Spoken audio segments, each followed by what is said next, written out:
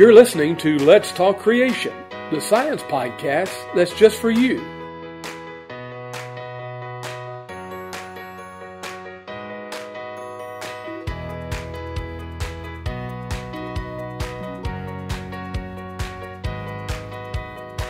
It might not be Angel Human or Seth Cain, uh, you know, that Yeah. produced those post flood Nephilim. It could be something else, and that word is just used to describe whatever they are. So, yeah, Very interesting. all right. Should we do one more question for you? Yeah, why not? Uh, oh, oh, I get this one. I get this all the time. Hey, if the Earth is thousands of years old, then how do you explain carbon dating? Oh, those millions of year old fossils and stuff. Okay. Oh my, yeah, that was always painful to hear. Because I don't know where to begin. Yeah. But anyway, I'll let you try it. Yeah.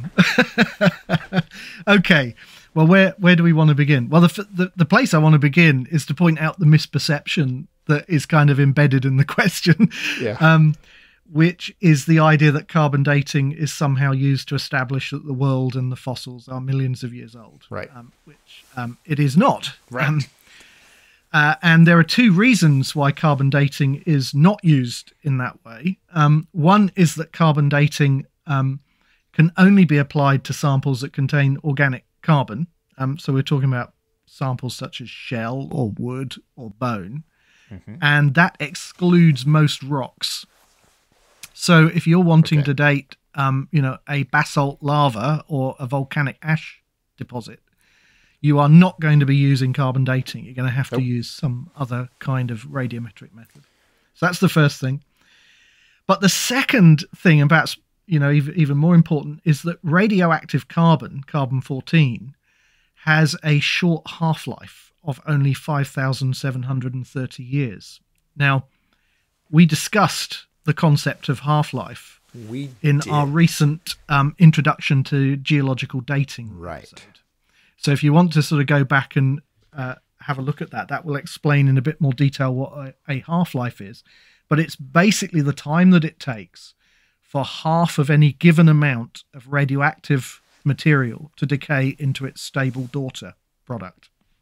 So that's basically what a half life is. And radioactive carbon, carbon 14, has this relatively short half life. Um, and given that uh, you know, after about 10 half lives or so, there is no measurable amount of the original material left in the sample to measure, Okay. that effectively limits the um, useful lifespan of radioactive carbon to somewhere between about 50 and 60,000 years or so, depending on the sensitivity of the particular instrument that you're using to measure the radioactive carbon in the sample. Um, That's not so very for both old of those, at all on the on the conventional. not very old. scheme. Yeah. no, so exactly. So so if you find um, carbon fourteen in a fossil sample, a measurable amount, then that is evidence that that sample is actually geologically quite young. Um, it is not evidence that it is millions of years old. Okay. Um, so that's kind of the first thing. You know, we we've, we we could kind of deal with that um, misperception. Right. But having said all of that, can we say something more about radiocarbon and how it is used and what it can tell us and what perhaps what some of its limitations are? Um, so let, let's kind of go back to brass tacks then. So let's think about how is radioactive carbon, carbon 14, formed? Well, it's formed um, continually in the Earth's upper atmosphere. Cosmic rays bombard the Earth's atmosphere, Okay. and those cosmic rays produce subatomic particles called neutrons. And those neutrons collide with uh, nitrogen atoms, nitrogen 14 in the atmosphere, converting those nitrogen 14 atoms to carbon 14. Uh, those carbon atoms then combine with oxygen to form carbon dioxide, CO2. okay. And of course, carbon dioxide gets taken up by plants. Okay, so they take up the, the CO2. And then animals eat the plants.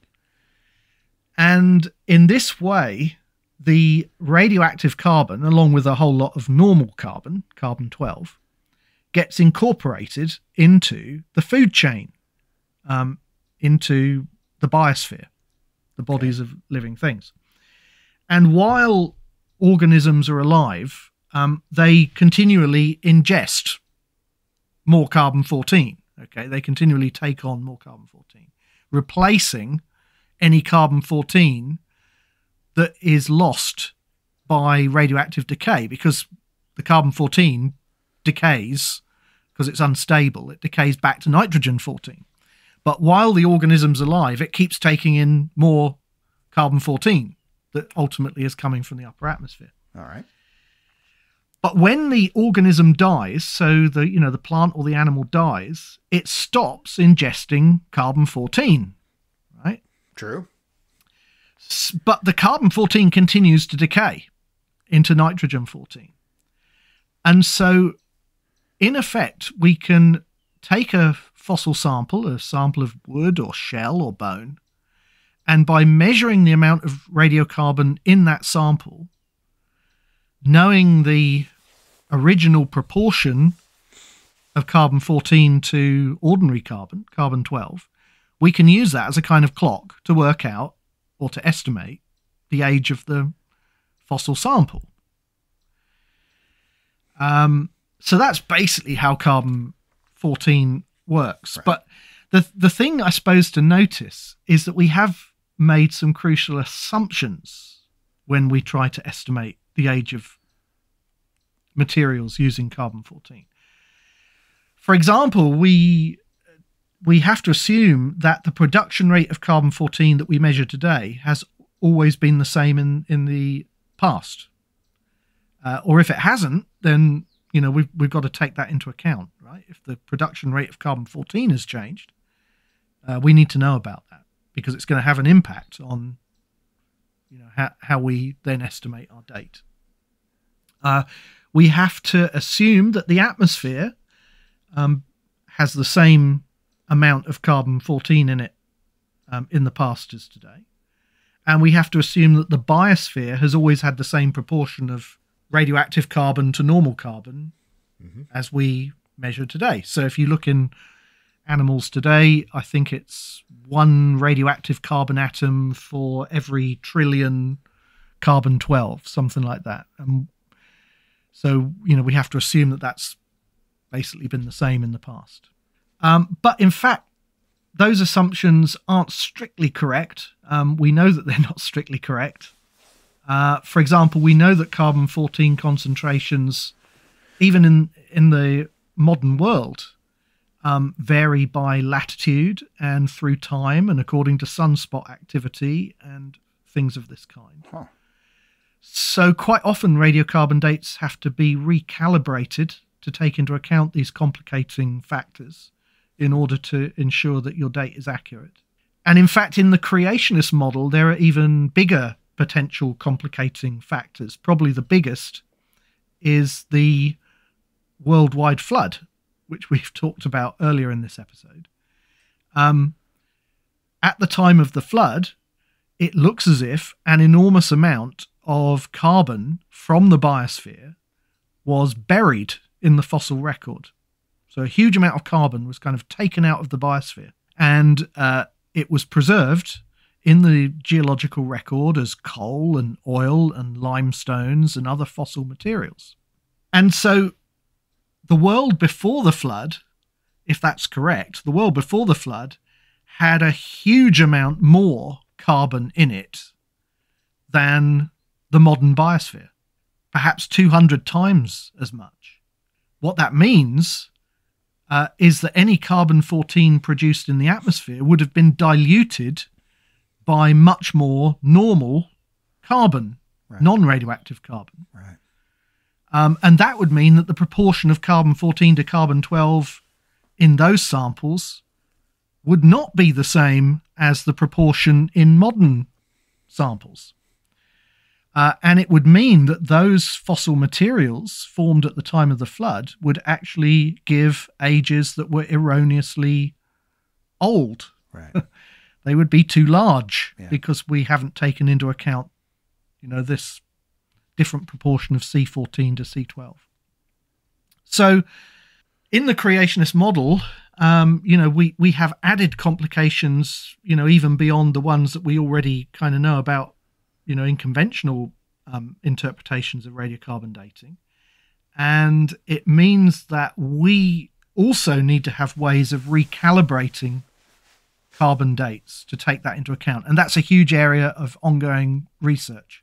Exactly how do we recalibrate those radiocarbon dates so that they give us real biblical time, Right. you know, real time rather than um, an erroneously old radiocarbon age because of the uniformitarian assumptions that are traditionally made within the carbon 14 method. Right, right.